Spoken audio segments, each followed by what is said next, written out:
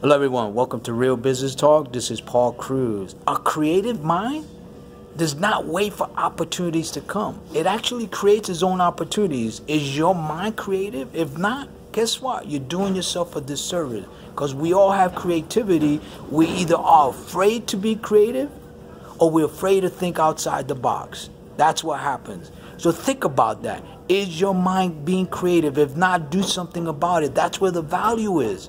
That's where the action is. And more importantly, that's where the profits is. And you owe it to yourself to be creative. For more information, I encourage you to go to my podcast at SoundCloud, type in Real Business Talk Show, and go to my YouTube. I got some incredible YouTubes that not only helps your business, but can help you personally make that changes to help your business.